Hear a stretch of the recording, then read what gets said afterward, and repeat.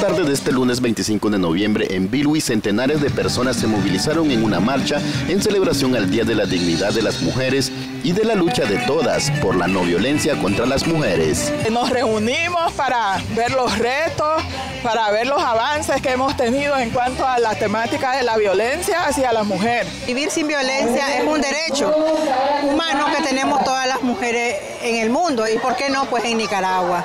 En la marcha participaron actores de las diferentes instituciones del Estado, población civil y una cuadrilla de oficiales mujeres de la Policía Nacional. Mujeres, si vivimos maltratados, mujeres, no quedemos calladas, busquemos que hay leyes que nos protejan. En la marcha que inició en la entrada de la ciudad de Bilwi se podían observar pancartas alusivas a este día condenando cualquier tipo de violencia hacia las mujeres. Queremos un mundo libre de violencia contra las mujeres y niñas, mujeres emprendedoras, trabajadoras. Desde Bilwi para Crónica TN8 informó Elvin González.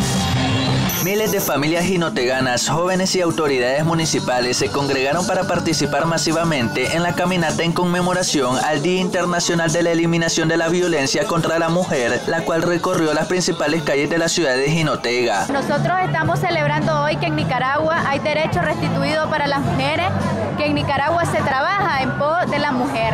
En el Ministerio de Salud, por ejemplo, con decirte casas maternas para que las mujeres esperen en tranquilidad a sus niños, en los hospitales atención especializada para las mujeres. Hoy nos sumamos, nos volcamos a las calles para decir no a la violencia de donde venga, de donde venga, no a la violencia entre los nicaragüenses y también estamos haciendo un llamado a la paz de nuestra nación, a decirle a los nicaragüenses que trabajemos en unidad, que nos unamos ante los desafíos que tenemos como nación para sacar a nuestras familias adelante, para seguir desarrollándonos, para seguir avanzando las mujeres en equidad de género. En Crónica TN8, Luis Alberto Peralta.